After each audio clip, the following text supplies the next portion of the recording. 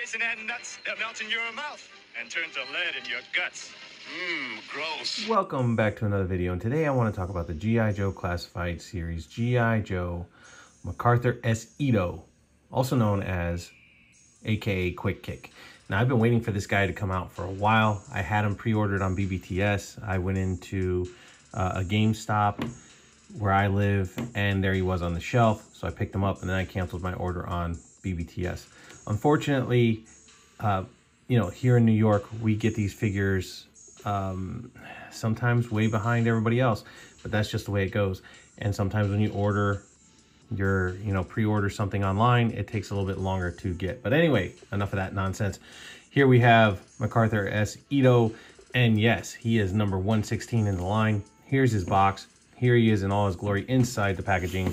And yes, here we go. We have another picture of Quick Kick on the side, number 116, the barcode that goes nowhere.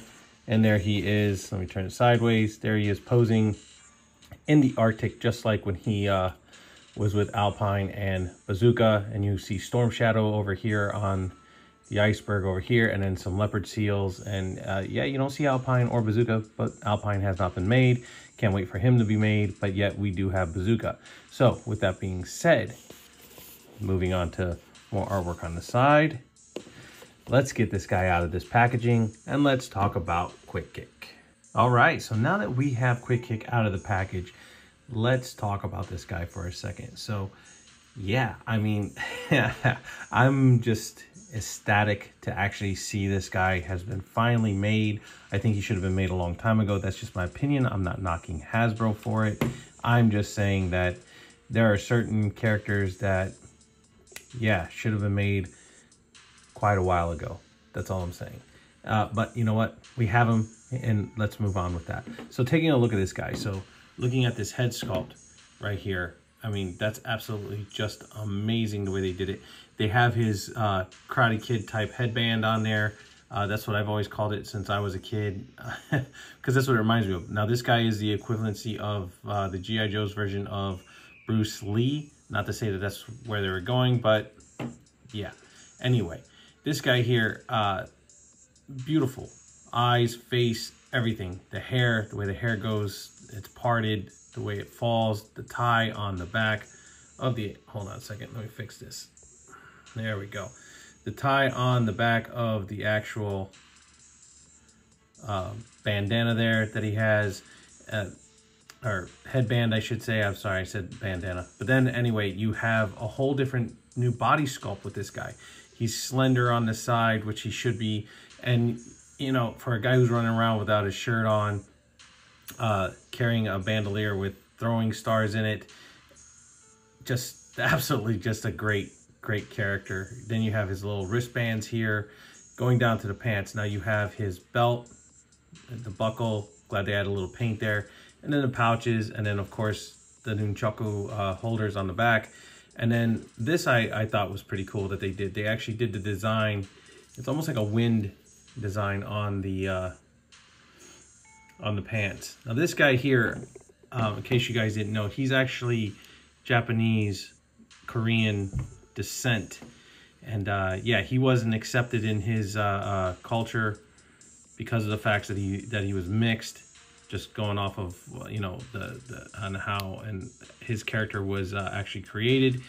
Moving down the pants, I like the way they did the gi pants right here. Uh, they don't go all the way to the bottom; they just go right to here to show you know the this part of the shin and then the ankles and then the feet. This guy's always running around barefoot. It doesn't matter if it's ice, hot. It doesn't matter if it's road, rocks, whatever. This guy can work through the terrain. But anyway, back to his, his a little bit of his background um, by showing this guy off. He, um, yeah, he, he was a lover of basketball, but because of his height, could not get into uh, playing basketball. and then uh, also, he uh, he's a martial arts expert. Uh, many different martial arts. He's in, uh, what was it Taekwondo, Tai Chi, Wing Chun. Uh, then there is the Guru Ryu whatever it is. Uh, also, Mantis, Kung Fu. So yeah, this guy is well rounded when it comes to uh, doing some some martial arts. Now I'm just doing a quick little pose with him. You guys know how I am with this. But uh, yeah, he looks, he looks, he looks good. And yes, he has trigger fingers because he does use a gun. So that, that makes sense for him to come with, you know, two hands with trigger fingers on them. I mean, I know we're not to leave him like this, but you know, you want to get that certain type of look even with those trigger fingers. You know, you you can you can do that as well. There's nothing wrong with that um, when it comes to posing him however you want. Can he do a kick? Yes, he can do a kick, no problem. He could do a nice front kick right here to show that he can get that foot up. Um, you know, and yeah, he doesn't have a ball hinge or, you know, toe hinge right here, which is fine. It doesn't make a difference. It's not going to break or make my opinion on this figure because they did a fabulous job with it. Now, getting him to do a side kick, that's simple too. You can get him to do a side kick, bring this toe in a little bit, or hinge up a little bit, and there you go. And yeah, you can bend him at the torso some, and there he is doing a nice nice high side kick. So they did make him to where he is definitely, um, you know, he can do almost a full, full split.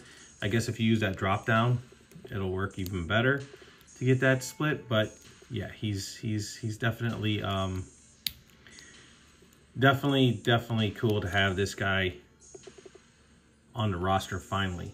So let me get him settled in. I mean, and the joints move very easily. I'm not having any issues with them either.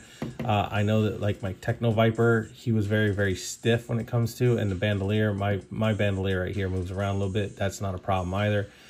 But yeah, he, um, he definitely, definitely poses a lot easier than the Techno Viper did. And they're both from the same, same, same part of the, of the series, right? They're like whatever number series this is of them coming out.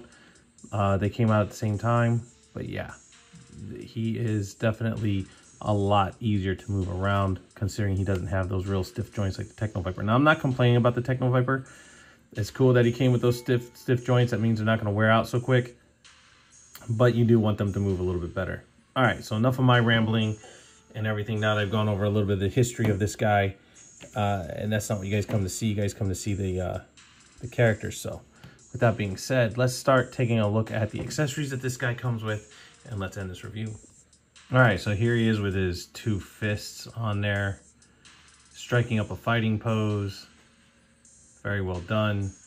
And I'm glad that they added the fists in there. I'm glad that they're actually adding some more hands and accessories into the figures. All right, so now we have his Wing Chun style hands or karate chopping hands or just open flat, striking hands, however you want to pose him or use him, whatever the case is, you have those as well. So starting off with the accessories, we have Quick Kicks backpack, and it's just casted in all red. And uh, if I'm not mistaken, the original one was all red as well.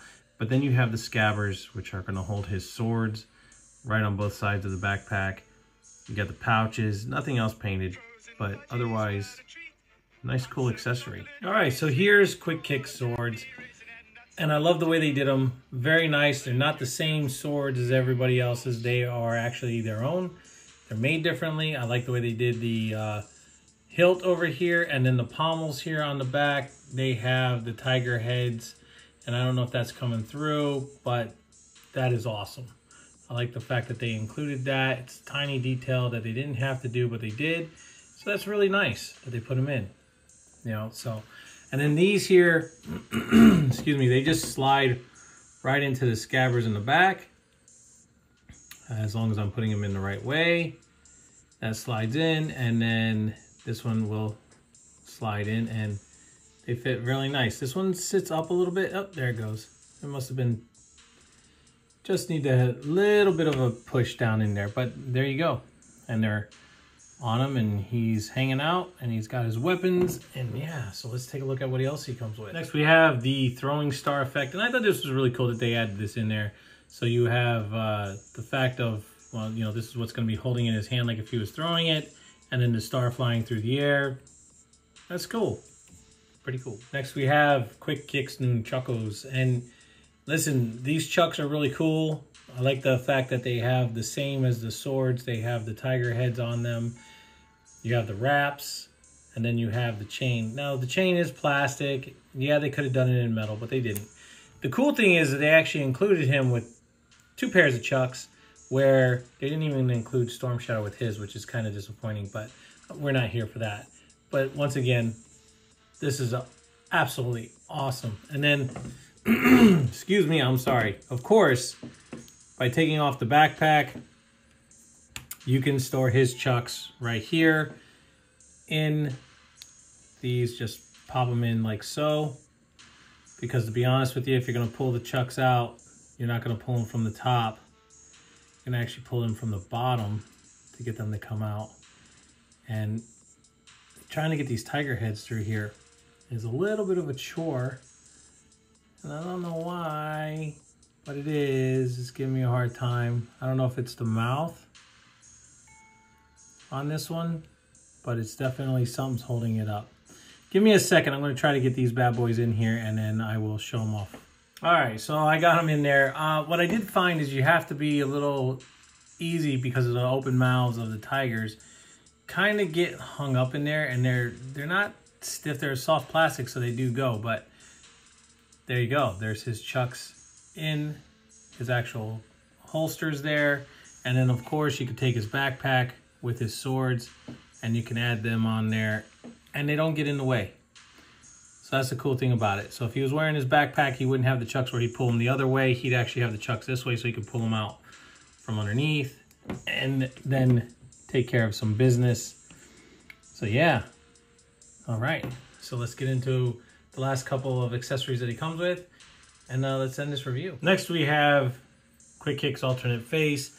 And yes, of course, I like the fact of how they have him doing the woo type face and the way his hair is flowing off to the side. It's very well done. I do like the fact that they added the extra head sculpt, the extra hands, the way they've done the weapons. They have done an excellent, excellent job with this figure so far. Last but not least in the accessories, we have the chocolate fudgy bar, which shows, uh, he shows off because he was doing the commercial. That's how he met Alpine and Bazooka in the episode when he first showed up. He was doing a commercial on these fudgy bars. Uh, and I guess only Bazooka was the one that could eat them. But like he said, they turn lead to lead in your guts. But I think they did a great job with this. I mean, it's it's a cool little nostalgic throwback to the cartoon. Like the fact that they put the little squares in there in the chocolate bar. And they put the aluminum wrapping in there along with the actual red uh, paper packaging on the top. And then you have a little bit of the silver coming around the back. I think that's actually really cool detail that they added to, you know, just for nostalgia reasons. All right, so now that I've shown off all of Quick Kick's accessories and we've talked about the figure, I just want to say, and you can see I actually have him posed doing a proper martial arts salute of respect. That is awesome. So, I mean, look, of all in all, this is a great figure. Hasbro has done a fabulous job with this figure. They did a fabulous job with Big Boa. They did a fabulous job with uh, the Techno Viper. I mean, I cannot complain. They have done some leaps and bounds. But yet, still, they are putting out some good product. So regardless of what's happened in the past with a couple of mistakes here and there, they have bounced back. And that is what's awesome because this is a great line. Don't get me wrong. I will call it the way I see it. And when they do excellent work, like they have done with Quick Kick, the Techno Viper, Big Boa, and many other figures, uh, Mutt and Junkyard, Shipwreck, Hawk, yeah. I mean, I, I can't say enough good things when they do fabulous work. I mean, granted, we're paying for these figures, and that's all well and good. So if you're a reviewer and you're going to give your opinion on what you think about the figure and, and, and what you like and what you're paying for, well, you have that right. Doesn't mean that Hasbro's doing it on purpose. Just a, you know, they had some QC issues going on, and that's what's happened. But hey, look, in the long run, let's hope that they keep getting better and better, and that they, you know, when they get to making the Cobra-La figures, which I hope they do, I really, really hope they come out with a Golobulus and a Nemesis Enforcer and a Pythona. That will be fabulous. The Dreadnoks, they knocked it out of the park with the Dreadnoks, man. I'm telling you, they just they're just getting better and better and better and better. And the fact that they're actually changing up the body styles and stuff like that, that is absolutely fabulous. I think they're doing a fabulous job. I think they're doing a great job, and I can't praise them enough for it. If I can if I can tear them down when they do make their mistakes and they and and, and they do crap work, I can build them up when they do fabulous work. And that's all I have to say about that. And before we go, the only guy I have out that I want to show a comparison to, of course, is the Techno Viper. And here he is in all his glory, if I can get him to stand up here. Um, yeah, I love this guy. This guy's awesome. And yes, I have his knees bent, so he does look a little shorter than Quick Kick. But overall, a fabulous looking figure. So there you go. There you have him with that. Anyway, guys, listen. This is my review on the G.I. Joe Classified series Quick Kick. I hope you enjoyed it. Please like, subscribe, share, hit that notification bell so you never miss out on anything new. And as always, always leave a comment down below. And listen, guys, I just got to say, the more comments you put in, the more likes you hit, the more you share the videos, the more the algorithm's going to pick up the videos. They're going to get them out there. And it's just going to help us grow that way I can keep doing this. And, you know, I mean, I, I don't get paid for doing this. I do this all out of fun.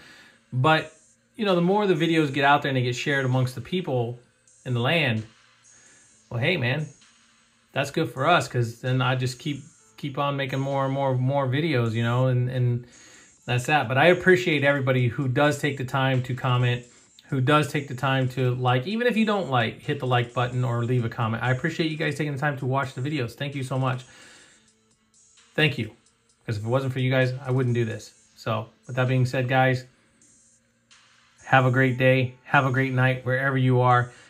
And no matter where you are, always catch you on the flippity flip.